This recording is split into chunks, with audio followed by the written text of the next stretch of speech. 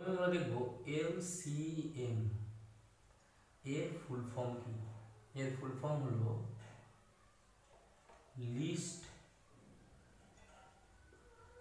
এটা হচ্ছে common M মানে হচ্ছে মাল্টিপল লিস্ট কমন মাল্টিপল তার মানে লঘিষ্ঠ বা ছোট বা ক্ষুদ্রতম, আমরা যা ইচ্ছাই বলতে পারি। লিস্ট মানে হচ্ছে সব থেকে ছোট বা ক্ষুদ্রতম বা লঘিষ্ঠ, ঠিক আছে? কমন মানে সাধারণ। সাধারণ তার মানে কি? যেটা দুটোর মধ্যেই আছে। দুটোর মধ্যেই বা তার বেশির মধ্যে, বা তার বেশির মধ্যে আছে এমন একটা জিনিস,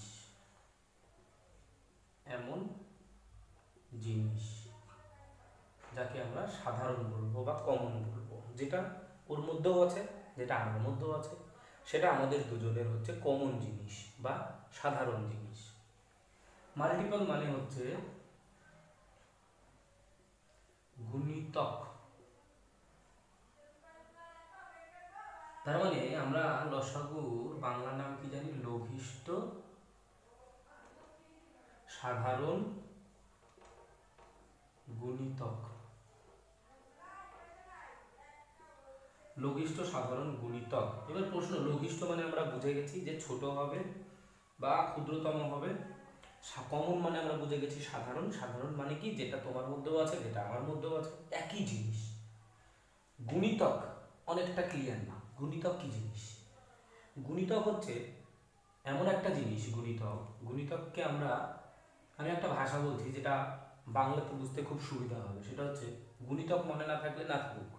গুণিতক জিনিসটা কি? জিনিসটা কিছুই না, গুণিতক হচ্ছে নামতা। আমরা যেরকম বাংলায় নামতা পড়ি ছোটবেলায় গুণিতক মানে হচ্ছে ওটাই নামতা। যেমন দুইয়ের যদি গুণিতক আমাদেরকে কেউ জিজ্ঞেস করে যে দুইয়ের গুণিতক কত, তো দুইয়ের ঘরে নামতা। দুই অক্ষে দুই দুই দুগুণ চার, তিন দুগুণ ছয়, এরকম।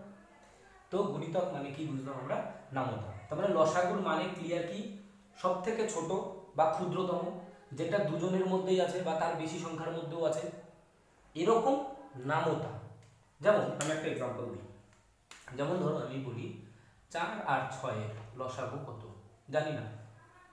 তো আমরা আগে ডেফিনেশন ওয়াইজ যে লসাগুর যে নাম, সেই অনুযায়ী লসাগু বলতে কি বোঝাবে, সেটা আমরা আগে বুঝব। তারপরে কীভাবে লসাগু করব, সেটাও বুঝব। তাহলে চারের আগে আমরা নামতা বার করব। চার একে চার চার দুগুণ আট, তিন চারে বারো, চার চারে ষোলো, চার পাঁচে কুড়ি, চার ছয় চব্বিশ চব্বিশ, এরকম হতে থাকবে। অনেক, অসংখ্য। ছয় ছয় একে ছয় ছয় দুগুণ বারো, তিন ছয় আঠেরো, চার ছয় চব্বিশ, পাঁচ ছয় তিরিশ, ছয় ছয় ছত্রিশ, এরকমভাবে অসংখ্য আছে। এবার আমাদের লসাগুর নামের মধ্যে কি বলছে? এমন আমতা যেটা এই দুজনের মধ্যেই আছে, কিন্তু ছোট হবে। তো আমরা দেখতে পাচ্ছি যে দুজনের মধ্যে বারো আছে, দুজনের মধ্যে চব্বিশ আছে, আরও দূর গেলে আরও অনেক সংখ্যা পাবো আমরা, যেটা দুজনের মধ্যেই হবে। কিন্তু আমাদের লসাগুর মানে কি? লিস্ট, লঘিষ্ঠ, ছোট বা ক্ষুদ্রতম। সব থেকে ছোট। তাহলে সব থেকে ছোট কে? বারো।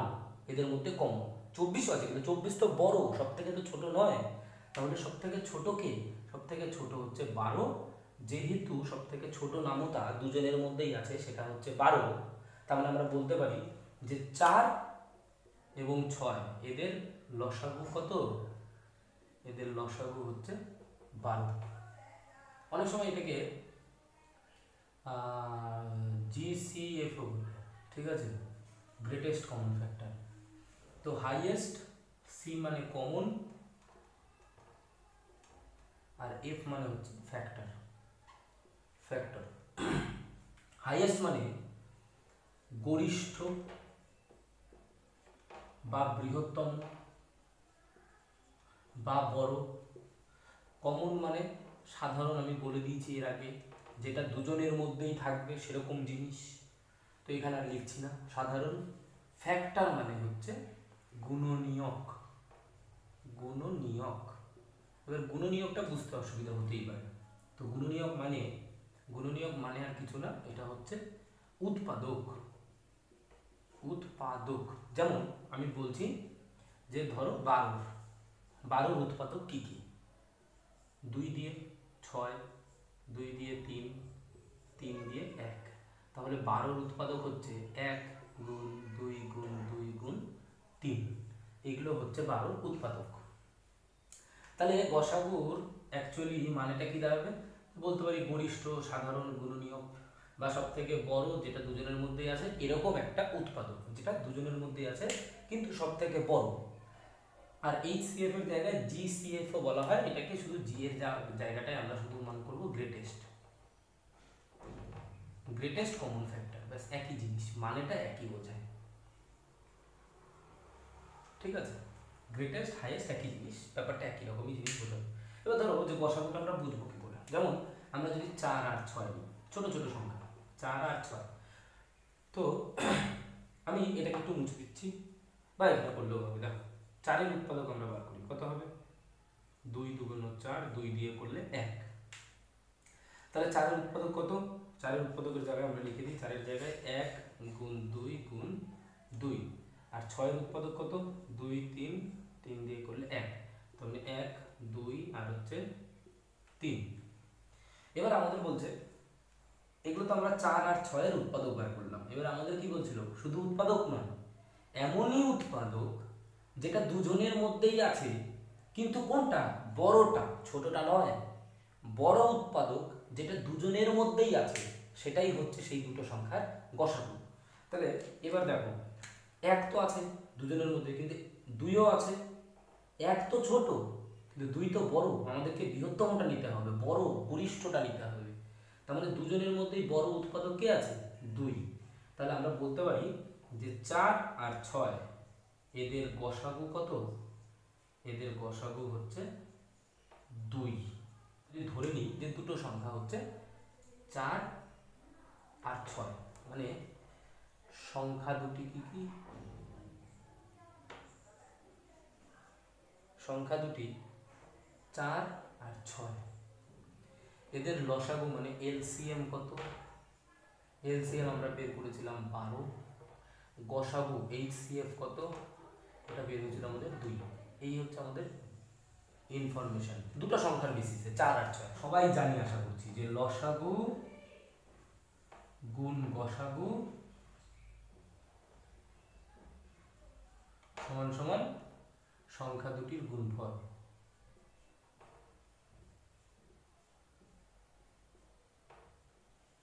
সংখ্যা দুটির গুণফল। এটা হলো এক নম্বর বৈশিষ্ট্য। দুই নম্বর বৈশিষ্ট্য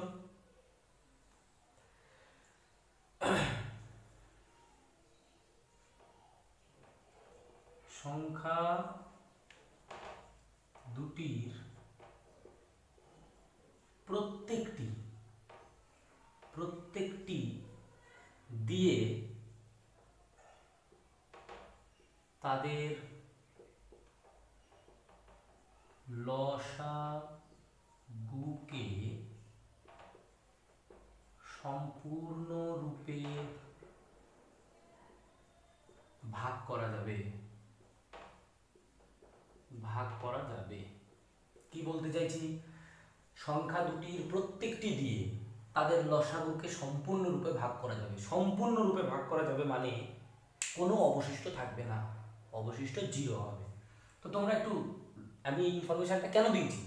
তোমরা এই বৈশিষ্ট্যের সঙ্গে সঙ্গে ওখানে একটু যাজও করে নিতে পারবা যে ঠিক বৈশিষ্ট্য হচ্ছে কিনা। যেমন যেমন ধরো যে সংখ্যা দুটি কি কি? চার আর ছয়।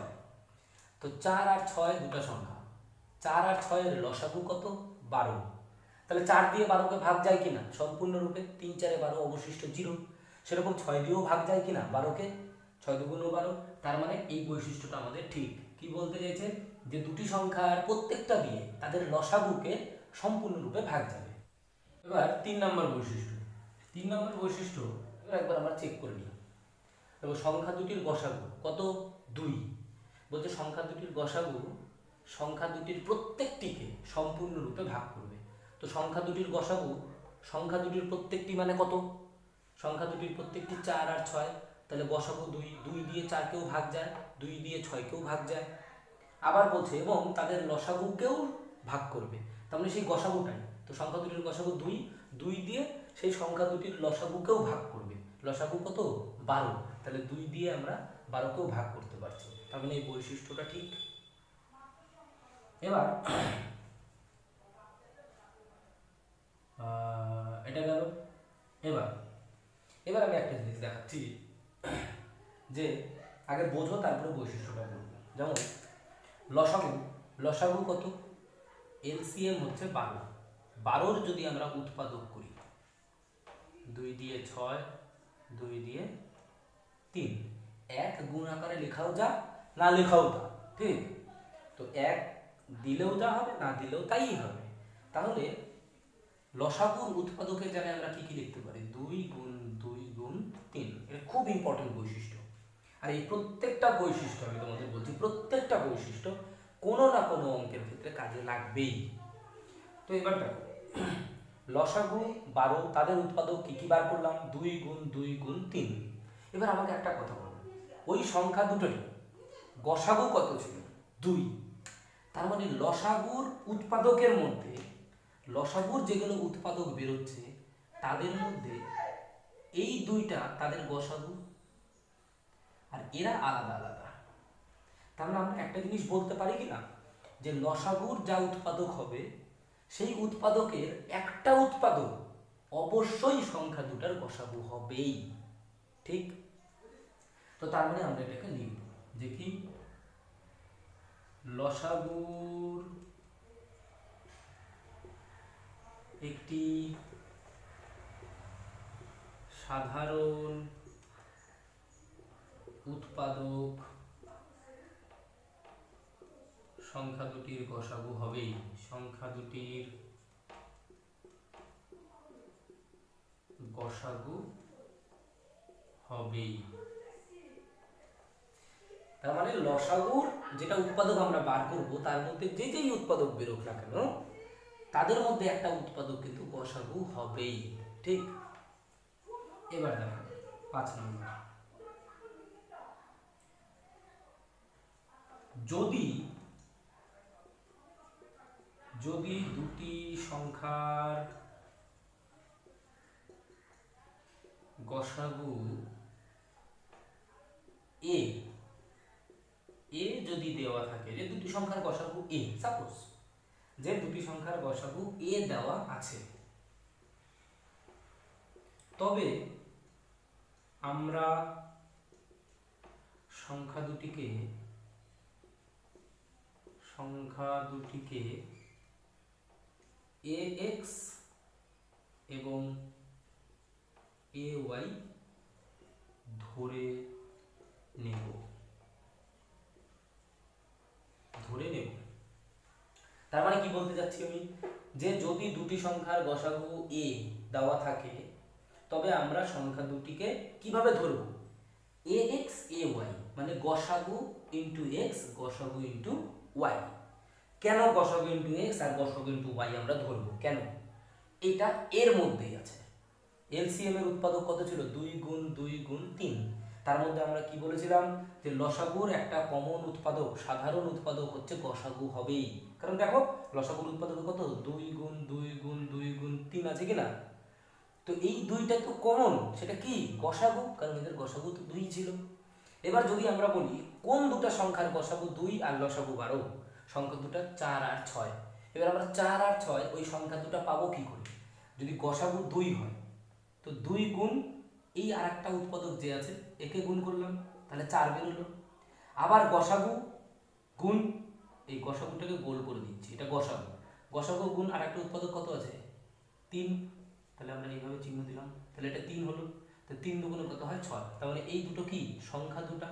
এরা হচ্ছে ওই সংখ্যা দুটি। তাহলে সংখ্যা দুটিকে পেতে গেলে আমাদের গসাগুর সঙ্গে একটা উৎপাদক গুণ করতে হয়, আবার গসাগুর সঙ্গে আর একটা উৎপাদক গুণ করতে হয়। তাই জন্য আমরা এখানে বলতে পারি কি? যে যদি দুটি সংখ্যার গসাগু এ দেওয়া থাকে, তবে আমরা সংখ্যা দুটিকে কীভাবে ধরে নেব? এ এক্স আর এ ওয়াই এবার প্রশ্ন, যে এ এক্স আর এ ওয়াই এদের মধ্যে এক্স আর ওয়াই কি জিনিস? এক্স আর ওয়াই কি জিনিস সেটা আমি বলব। এক্স আর ওয়াই এদের মধ্যে এক্স আর ওয়াই কি জিনিস? এটা তো বসাবো, আমরা বুঝতে পারছি। এক্স আর ওয়াই দুটো উৎপাদক, কিন্তু তারা কেমন উৎপাদক হবে? তাদের মধ্যে কি সম্পর্ক? দেখো এক্স আর ওয়াই এরা হচ্ছে কো প্রাইম নাম্বার হবে। কো প্রাইম নাম্বার এবার প্রশ্ন কো প্রাইম নাম্বার কি জিনিস? জানি না। আগে বাংলা নামটা জানি কো প্রাইম নাম্বারের বাংলা নাম। পরস্পর মৌলিক। পরস্পর মৌলিক। কো প্রাইম নাম্বার মানে বাংলাটা হচ্ছে পরস্পর মৌলিক। এবার প্রশ্ন হলো কো প্রাইমের বাংলা পরস্পর মৌলিক, কিন্তু পরস্পর মৌলিকটাই কি জিনিস? এটাও সবার কাছে ক্লিয়ার নয়। যেমন, পরস্পর মৌলিক মানে কি জিনিস? আমি পরে বলছি। আগে শুধু এইটুকুনি মনে রাখো, যে পরস্পর মৌলিক মানে আমরা এটাও বলতে পারি, এমন দুটো সংখ্যাকে আমরা পরস্পর মৌলিক সংখ্যা বলব, যাদের গসাগু এক, তার মানে যাদের এইচ সি এফ ওয়ান এটা আমি বোঝাচ্ছি। আগে শুধু এটুকুনি বুঝে নাও যে এক্স আর ওয়াই হচ্ছে কি সংখ্যা হবে কো প্রাইম নাম্বার মানে যারা পরস্পর মৌলিক পরস্পর মৌলিক কি জিনিস? পরস্পর মৌলিক হচ্ছে যে দুটি সংখ্যার গসাগু এক হবে, তাদেরকে আমরা পরস্পর মৌলিক সংখ্যা বলব। যে সংখ্যাকে এক এবং ওই সংখ্যা ছাড়া অন্য কোনো সংখ্যা দিয়ে ভাগ করা যায় না, তাদেরকে কি বলে? তাদেরকে বলে হচ্ছে মৌলিক সংখ্যা। যে সংখ্যাকে এক এবং ওই সংখ্যা ছাড়া অন্য কোনো সংখ্যা দিয়ে ভাগ করা যায় না তাদেরকে বলে মৌলিক সংখ্যা, ঠিক আছে? এবার মৌলিক সংখ্যা তাহলে কেমন কেমন হতে পারে? যেমন, দুই হচ্ছে সবচেয়ে ক্ষুদ্রতম মৌলিক সংখ্যা, ঠিক আছে? তো দুই, তিন, পাঁচ, সাত, নয় না কিন্তু, কারণ নয়কে এক আর নয় ছাড়া তিন দিয়েও ভাগ দেয়, তার মানে নয় কিন্তু মৌলিক সংখ্যা নয় নয় বিজোড় সংখ্যা। সাত, এরপরে কত হতে পারে? এগারো, তেরো, সতেরো এরকমভাবে চলছে উনিশ এরকমভাবে চলতে থাকবে। তো এরা হচ্ছে মৌলিক সংখ্যা। এবার তুমি বলো, এদের যদি তুমি ভাগ করতে চাও, সাতকে তুমি কত কত দিয়ে ভাগ করতে পারবে? সাত দিয়ে সাত একে সাত? আর কত দিয়ে? এক দিয়ে সাত একে সাত? আর কোনো সংখ্যা দিয়ে ভাগ করতে পারবে সাতকে? পারবে না। তার মানে সাতকে শুধুমাত্র সাত দিয়ে আর এক দিয়ে। তো আমরা তো তাই বলেছি, যে সংখ্যাকে এক এবং ওই সংখ্যা ছাড়া অন্য কোনো সংখ্যা দিয়ে ভাগ করা যাবে না। তাদেরকে আমরা কি বলব? মৌলিক সংখ্যা। তাহলে মৌলিক সংখ্যা হচ্ছে এরা। এবার আসছি আমি পরস্পর মৌলিক সংখ্যার কথায়। যে পরস্পর মৌলিক সংখ্যা কি জিনিস? এটাকে এইটুকু এটাকে আমি মুছে দিচ্ছি, ঠিক আছে? এবার দেখো, পরস্পর মৌলিক সংখ্যা কি জিনিস? পরস্পর মৌলিক সংখ্যা হচ্ছে, যেমন ধরো, যে তিন আর পাঁচ। আমি কি বলেছি? পরস্পর মৌলিক হতে গেলে একটা জিনিস মাথায় রাখবা, যে পরস্পর মৌলিক হতে গেলে আমাদের গসাগু এক লাগবে মানে এইচ সি এফ ওয়ান হবেই। তবেই গিয়ে আমরা তাদেরকে পরস্পর মৌলিক সংখ্যা বলব। ওয়ান তবেই গিয়ে আমরা তাদেরকে পরস্পর মৌলিক সংখ্যা বলব। তো দেখো, তিন আর পাঁচ, এরা কি মৌলিক সংখ্যা? এদের গসাগু কত? গসাগু আমি কি করে বের করতে শিখিয়েছিলাম? গসাগু বলেছিলাম কমন উৎপাদক। দেখো, তিন আর পাঁচের যদি আমরা কমন উৎপাদক করি, তিনের উৎপাদক কত? এক গুণ তিন। পাঁচের উৎপাদক কত? এক গুণ পাঁচ। আর কিছু হবে? হবে না তো। তাহলে এদের মধ্যে কমন কি? সব থেকে এক তো এক হচ্ছে এদের গসাগু যেহেতু এদের গসাগু হচ্ছে এক, তার মানে এরা পরস্পর মৌলিক সংখ্যা। এবার তিন আর চার নিলাম আমি। এবার আমাকে একটা কথা বলো, তিন আর পাঁচ যখন ছিল, তখন তিন আর পাঁচ দুজনেই তো মৌলিক সংখ্যা ছিল। তাহলে দুটো মৌলিক সংখ্যা মিলে একটা কি হতে পারে? পরস্পর মৌলিক, কারণ এদের গসাগু এক। এবার তিন মৌলিক সংখ্যা, কিন্তু চার তো মৌলিক সংখ্যা নয়, কারণ চারকে তো এক আর চার ছাড়া দুই দিয়েও ভাগ যায়। তার মানে তিন আর চার। কিন্তু এদের কমন উৎপাদক কত? সাধারণ উৎপাদক কত? এক গুণ তিনের। আর এর কত? এক গুণ দুই গুণ দুই। কিন্তু কমন উৎপাদক কত? এক। তার মানে যেহেতু এদের কমন উৎপাদক এক, তার মানে এদের গসাগু এক। আর যেহেতু গসাগু এক, তার মানে এরাও পরস্পর মৌলিক সংখ্যা। তার মানে আমরা বুঝলাম কি? একটা মৌলিক, একটা যৌগিক হলেও তারা পরস্পর মৌলিক হতে পারে। এবার যদি আমরা বলি যে চার আর নয়। চার আর নয়ের কমন উৎপাদক বার করো। চারের কমন উৎপাদক কত? এক গুণ দুই গুণ দুই। নয়ের উৎপাদক কত? এক গুণ তিন গুণ তিন, তাই না? তাহলে এদের মধ্যে কমন কি? এদের মধ্যে তো কমন একই। এক ছাড়া কিছু কমন আছে? নেই। তাহলে এদের যেহেতু কমন এক ছাড়া কিছু নেই, তার মানে আমরা বলতে পারি এদেরও গসাগু কত? এক। তার মানে এরাও পরস্পর মৌলিক, তার মানে এরা প্রত্যেকে হচ্ছে পরস্পর মৌলিক। পরস্পর মৌলিক।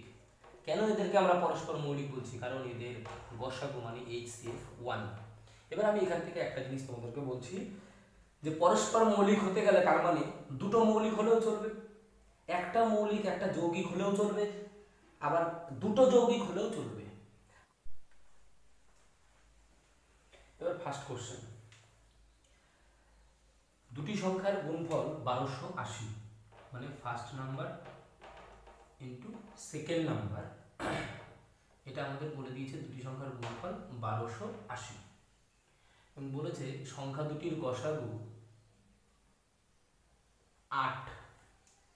সংখ্যা দুটির গসাগু আট হলে তাদের লসাগু কত? মানে এলসিএমটা কত হবে? এটা আমাদের বার করতে হচ্ছে এটা কোশ্চেন এবার আমরা প্রথম বৈশিষ্ট্যটা কি শিখেছিলাম? যে সংখ্যা দুটির গুণফল সমান সমান লসাগু, গুণ গসাগু। তাহলে first number into second number তাদের কার সঙ্গে সমান হবে? এলসিএম ইন্টু ইচসিএফ তো তার মানে আমরা এই দুটো সংখ্যার গুণফল কত দেওয়া আছে? বারোশো আশি তো দেওয়াই আছে। আর এখানে এইচসিএফ দেওয়া আছে। এলসিএফটা দেওয়া নেই। এইচসিএফ কত আছে? আট। তো আট যদি এই পাশে আসে, তাহলে আমাদের এলসিএম কত বেরোবে? এটাকে শুধু ভাগ করে দিলে কি হবে? আট দিয়ে যদি এটাকে আমরা ভাগ করি, কত হবে? তাহলে এলসিএম বেরোবে হচ্ছে একশো ষাট। এটাই অ্যান্সার আচ্ছা দু নম্বর। দুটি পরস্পর মৌলিক সংখ্যার গুণফল একশো সতেরো। এটা খুব ভালো ইম্পর্টেন্ট কোশ্চেন দুটি পরস্পর মৌলিক সংখ্যার গুণফল দুটি পরস্পর মৌলিক সংখ্যার গুণফল একশো সতেরো হলে তাদের লসাগু কত?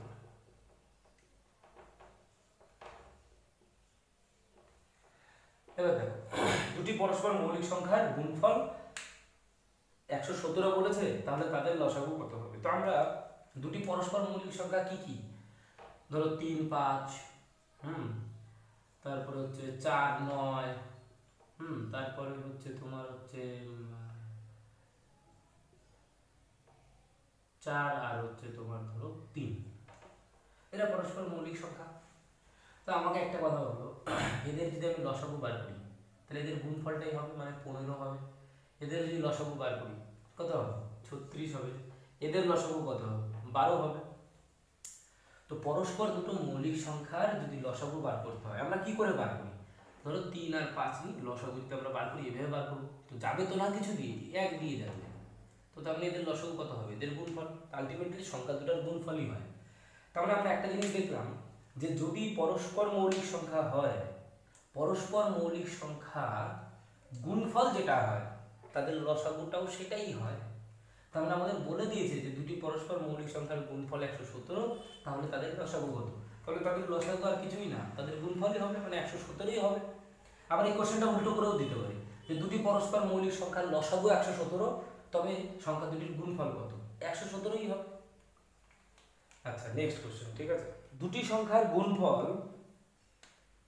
মানে first number into second number দুটি সংখ্যার গুণফল টু জিরো টু এইট তাদের গসাগু দেওয়া আছে। গসাগু মানে এইচসিএফ তাদের এইচসিএফ হচ্ছে তেরো। তাদের এইচসিএফ তেরো। তাদের গসাগু যদি তেরো হয়,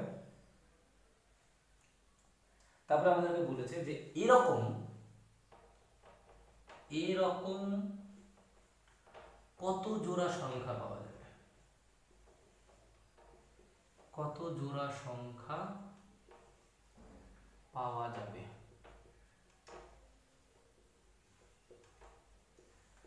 ফার্স্ট বলছে দুটো সংখ্যার গুণফল টু জিরো টু এইট তাদের গসাগু দেওয়া আছে তেরো, বলছে এরকম তাহলে যতগুলো সংখ্যা হবে, সেরকম ক জোড়া সংখ্যা পাওয়া যাবে।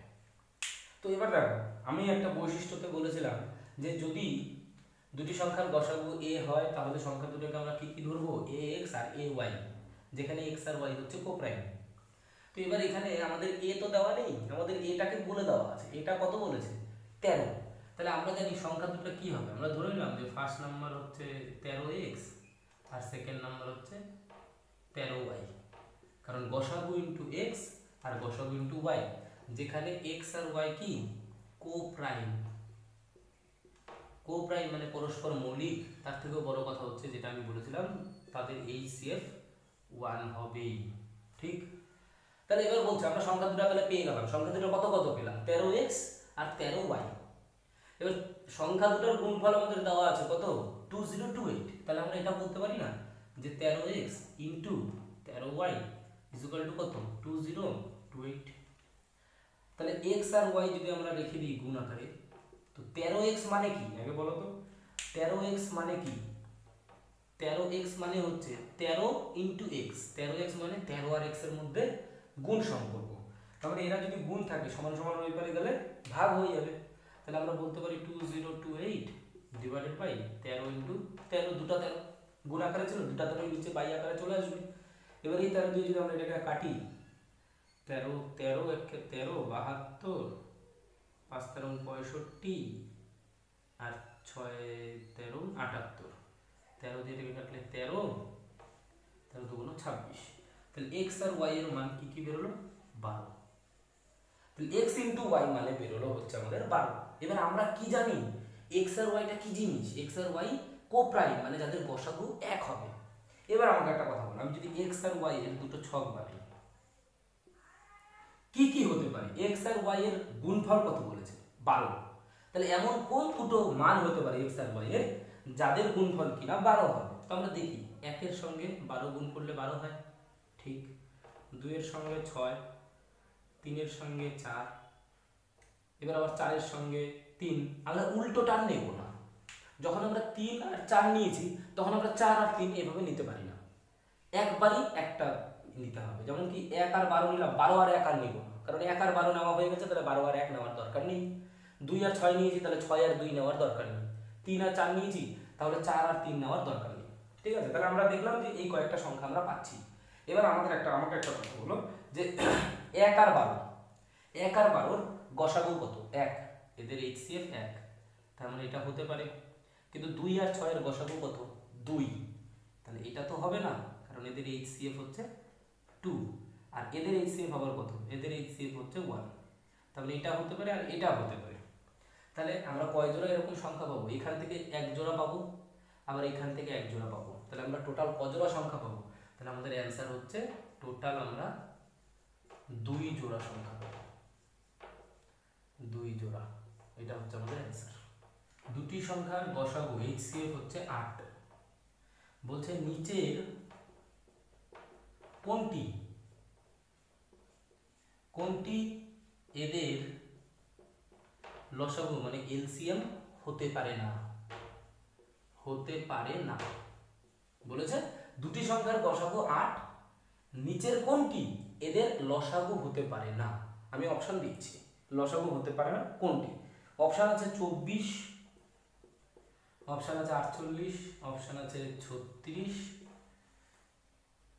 না ছত্রিশ না সরি অপশন আছে ছাপ্পান্ন আর অপশন আছে ষাট সিক্সটি এবার একটা কথা বলো, আমি বৈশিষ্ট্য তো বলেছি। গসাগুর সঙ্গে লসাগুর কি সম্পর্ক? গসাগু দিয়ে লসাগুকে ভাগ যেতেই হবে। তো আমাদের বলেছে নিচের কোনটি এদের লসাগু হতে পারে না। তো দেখি গসাগু দিয়ে এটা ভাগ যাচ্ছে। চব্বিশ হ্যাঁ ভাগ যাচ্ছে, তাহলে এটা অ্যান্সার হতে পারে। আট দিয়ে আটচল্লিশকে ভাগ যায় হ্যাঁ এটাও হতে পারে। আট দিয়ে ছাপ্পান্নকে ভাগ যায় হ্যাঁ এটাও হতে পারে। কিন্তু আট দিয়ে ষাটকে কি ভাগ যায়? না। তাহলে এটা হতে পারে না। তাহলে আমাদের এটাই হচ্ছে অ্যান্সার তাহলে লসাগু কত হতে পারে না? ষাট সিক্সটি নেক্সট কোশ্চেন দেখো, দুটি সংখ্যার যোগফল দুশো ষোলো। মানে first number plus second number দুটি সংখ্যার যোগ- যোগফল হচ্ছে দুশো ষোলো। দুটি সংখ্যার যোগফল দুশো ষোলো এবং তাদের গসাগু সাতাশ। তাদের গসাগু সাতাশ মানে এইচ সিএফ কত দেওয়া আছে? সাতাশ। ঠিক আছে? এবার আমাদের বলেছে যে এরকম কত জোড়া সংখ্যা পাবো? তো এরকম কত জোড়া সংখ্যা পাওয়া যাবে?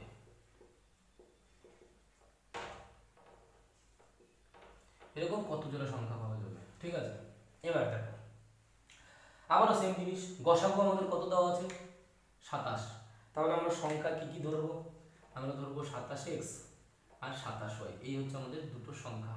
ঠিক? সাতাশ এক্স আর সাতাশ ওয়াই। এবার এই দুটো সংখ্যা কি দেওয়া আছে কোশ্চেনে যোগ ফল তাহলে এদেরকে যোগ করলে কত হবে? বলছে দুশো ষোলো হবে। এবার সাতাশ দুজনের মধ্যেই আছে, তো আমি সাতাশটাকে যদি কমন নিই, তাহলে এক্স প্লাস ওয়াই এটা ইজ ইকুয়াল টু দুশো ষোলো হবে, থাকুক। এবার এক্স প্লাস ওয়াই ব্যাকেটে আছে, যেহেতু কমন নিয়েছে মানে সাতাশটা এদের সঙ্গে গুণ আকারে আছে। তাহলে ওই পাশে গেলে কি হবে? সাতাশটা ভাগ হয়ে যাবে মানে বাই আকারে চলে যাবে। এবার যদি আমরা সাতাশ দিয়ে কাটি, ধরো নয় দিয়ে কাটলাম, তিন নং সাতাশ। তো নয় দুগুণ আঠেরো, চার নং ছত্রিশ, তিন দিয়ে আট। তাহলে এক্স প্লাস ওয়াই এর মান কত বেরোলো? আট। এবার এক্স আর ওয়াই কি জিনিস? যখন আমরা সাতাশ এক্স আর সাতাশ ওয়াই সংখ্যা দুটোকে ধরি, তখন এক্স আর ওয়াই তাদের মধ্যে কি জিনিস হয়? কো প্রাইম নাম্বার মানে যাদের গসাগু এক।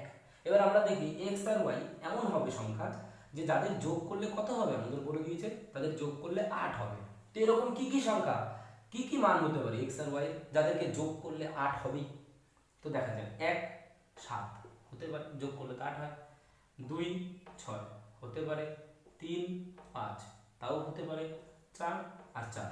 এবার পাঁচ আর তিন নিব না রিপিট নিব না, আমি বলেছি তিন আর পাঁচ নেওয়া হয়ে গেছে, তাহলে পাঁচ আর তিন নেওয়া যাবে না। এবার এদের মধ্যে আমাকে দেখতে হবে চেক করতে হবে কাদের বসাবো এক। তো দেখো, এক আর সাতের বসাবো এক, ঠিক। তাহলে এটা হতে পারে। দুই আর ছয়ের গসাগু কত? এক তো নয়, এদের গসাগু দুই তাহলে এটা তো হবে না। আচ্ছা তিন আর পাঁচের গসাগু, এদের গসাগু হচ্ছে কত? তিন আর পাঁচের গসাগু এক তাহলে এটাও হতে পারে। চার আর চারের গসাগু কত?